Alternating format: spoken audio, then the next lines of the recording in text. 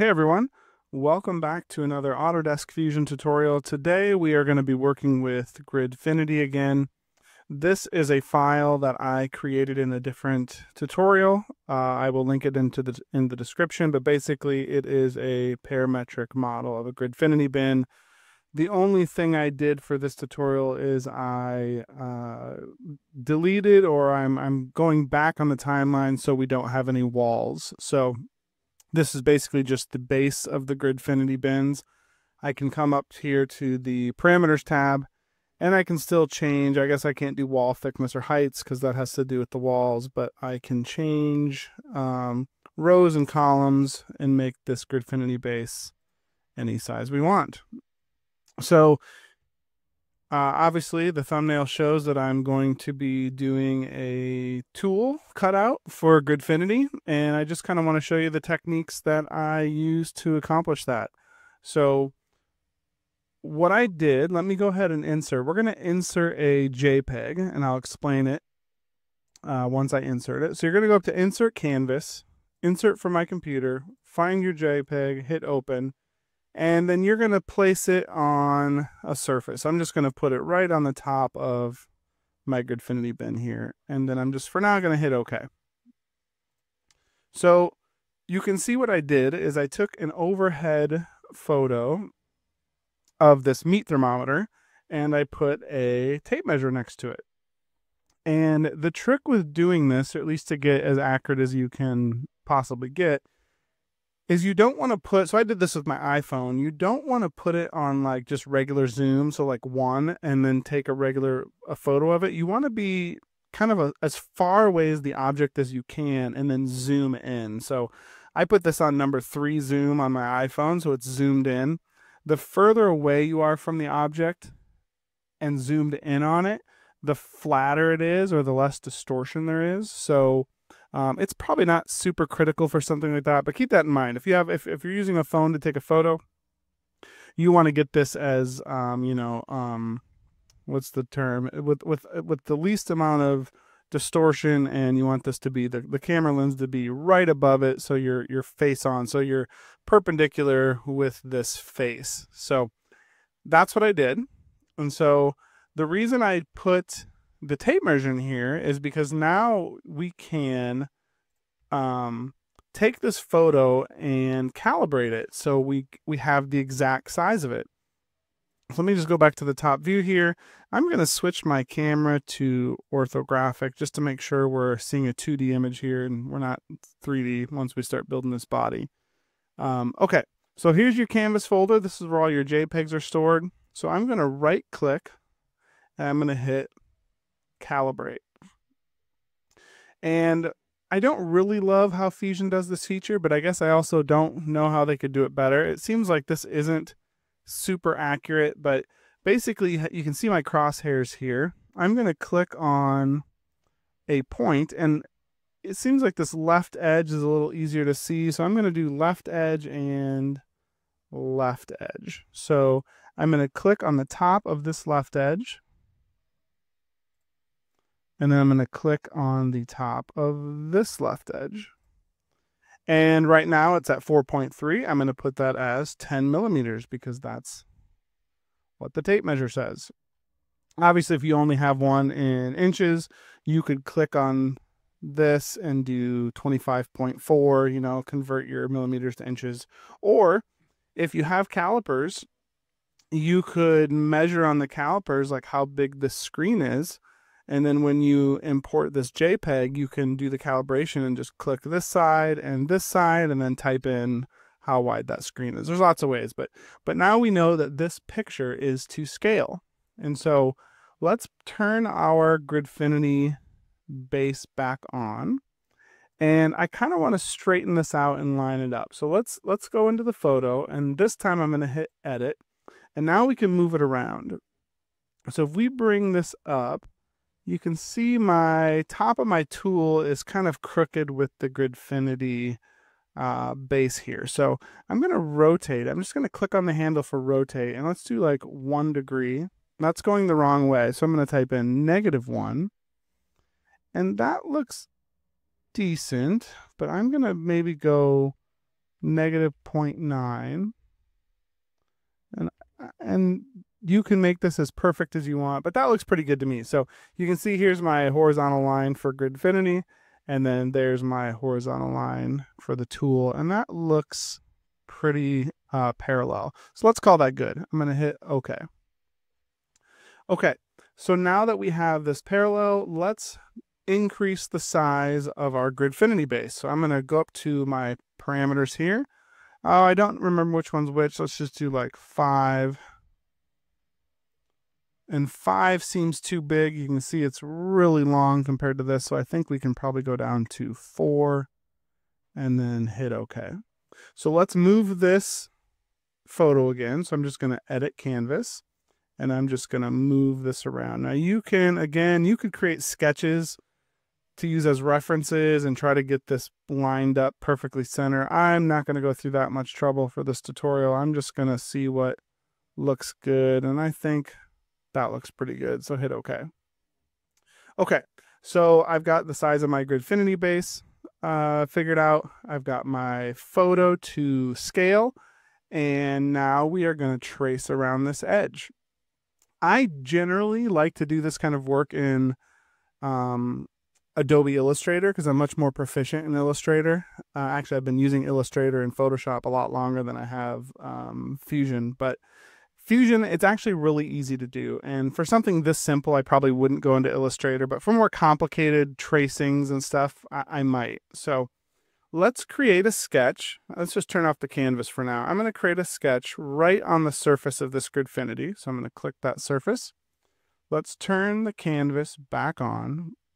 And we're going to just start tracing around this. Now, for an object like this, what I like to do is kind of break it apart. Now, eh, you know, it, this is an odd shape, but you can kind of break it into straight lines and then curves. So what I'm going to do is hit L on my keyboard for the line tool, and I'm just going to draw all of the straight lines. So, you know, the straight line starts maybe about here. Let's just draw that straight line. You can zoom all the way in if you want to try to get this perfect. It's probably not that big a deal for this model. Hit my check mark.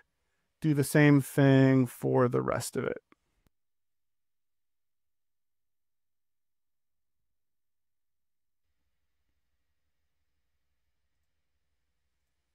Okay, so I have my straight lines. And now we're going to do these curves. And since it's usually not up here in the bar. A lot of people will go right to this fit point spline, and you can do that. Fit point spline will work, but there's another type of spline tool that will work way better for, for these kind of curves. So what we're going to do is hit create spline and control point spline. And you have to kind of practice with this. It's what you're going to do. Let's just start on this easy curve first. You're going to start on a known point, and it kind of looks like I'm a little off with this point. This could be moved a little bit. For, for now, we'll just keep it. Um, I'm going to click on this point, and I'm just going to click in the middle. Since this is such just a small curve, I'm just going to do one point on this. So I'm going to go right in the middle, and then draw another curve, and then draw, I'm sorry, you don't draw, you click, and then move your mouse to this. And then we can hit the green check mark. Now, the cool thing about this, you hit escape on the keyboard to get out of the tool so you're not going to draw anything else. And you can take this point, click on it, and move it.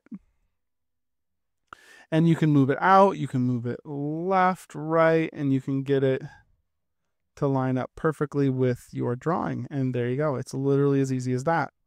Now, this one's a little bigger curve, so I might do more points. So let's go to Create, spline, control point spline. I'm going to click here. Let's let's just do a few spots. We'll do three maybe in the middle. And we'll do another one here and do the check mark. And then it's again just a matter of moving these around. See how I'm in, still in the tool here? So I'm going to hit escape. So I'm going back to my regular mouse and I'm going to click and move this out and you can move each one. And again, you can just move these around until you're happy with what you're seeing. And I mean, it's literally as easy as that. Now, if you want to make this um, tangent, I guess I don't know if I can. Let's see if we can do this. Um, I'm going to just see what this does. I, would like this curve right here to go be tangent with this. Um, so I'm going to just click this. And it does kind of work. Let's hit escape. Now I can probably only move this. Oh, now it's going to move that whole line. So you can just move this line still. Anyways, you get the idea. You can just kind of, now that kind of screwed up here. I'm just going to get this perfect. One more. And you could do the same thing from up here. I'm going to actually move this line up a little bit, which is probably going to screw this one up a little bit. Okay, you get the idea. You can make this as perfect as you want. I'm probably spending too much time on this. Now, there's other methods you can do. Now, I think I think this method is probably the easiest, but there's also an automatic option that sometimes does work, and that's the blend curve. And basically, you can see this little thumbnail. It, it takes two lines and tries to blend the curve to match. So I can choose this line and this line, and it'll kind of guess what that curve should look like. And the cool thing about this method is that it does give you the tangent on both of these. Now, you can still actually change this a little bit with these handles. I can, I can bring this in, which controls that curve, but then also you can see what it's doing here, throws all these lines off. So I'm going to undo that. Um, and I'm going to, I'm going to just hit control Z and back out of that. And we'll just, we'll just go back to our other method. One way around that, you could actually right click and do fix and now this line can't be moved. So if you did want to do this blend curve, and actually, you know what? Let me right click here and fix this line. So now if you did this blend curve and tried to change this, those straight lines can't move now because we fixed them. So if you did want to do this easy method, now you can kind of have some control. And that actually looks pretty good. Not as good as the other way, but I'll just leave it like that. So let's go back to control point spline. We will click here. Let's do just a center one and click here, hit escape, and we'll just make this. Tell you what, let's let's try something here. Let's do let's do this is tangent to this, and it's also tangent to this. And then let's see if we can how much we can change that. So now again, it's moving this line. So I'm going to undo that. Probably being a little, tell you what, I'm going to get this looking nice. I'm going to fix that again. It's green, so now it can't be moved. And now I'm going to make this tangent with this. Oh, now it's giving me errors. Okay. I'm making this way too complicated. You guys get it. Okay, let's finish sketch. So let's turn canvas off. And now we have our outline. Now we're going to extrude this up here. So we, I was going to hit E extrude and extrude this up. The problem is we made this outline completely perfect, right? So there's no clearance here for the tool. Now you could do your extrusion and then come in here and do a press pull and, and make it larger or I'm going to hit cancel there. You could get back into this sketch and do an offset. And so you hit the offset tool, click on your line, and now it's going to draw an offset of your original line. And we'll do maybe like, oh, I don't even know. Let's do 1.5 millimeters all the way around. Well, let's bump it up to two, maybe. I think that's probably Fine. So let's hit OK. Okay, so the one other measurement we'll need is the thickness of our meat thermometer or screwdriver or wrench or whatever you're trying to draw around. Um, I think I think mine was 18 millimeters. So I'm not going to go quite that high. I'm just going to hit E for extrude, and we'll go we'll go 15 millimeters and hit OK. And now one thing, and we could have done this on that previous sketch. Actually, tell you what, we'll just draw another sketch. Is a circle for like a finger to grab underneath it. So I'm just going to click on this surface, hit sketch. We're going to do C for circle. And let's just do like right there. It doesn't matter the size. I'll dimension this and we'll do we'll do 30.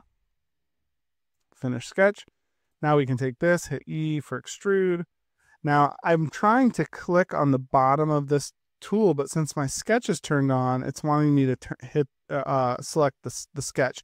So I can either click and hold and then move down to the face or you have to shut your you can you can make your sketch not visible to to get that and then hit enter.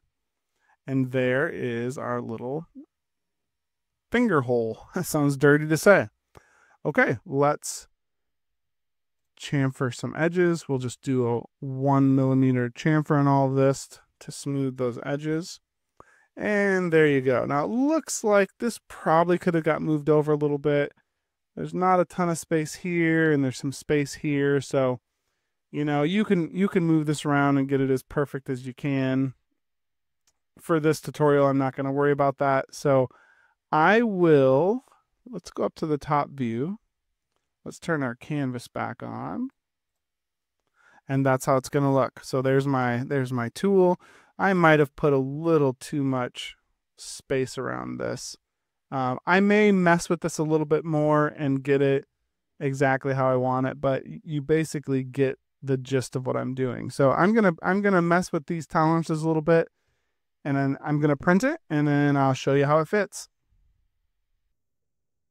All right, here is the finished part right off the printer. Um, some things I did off camera is I added thermometer to the bottom.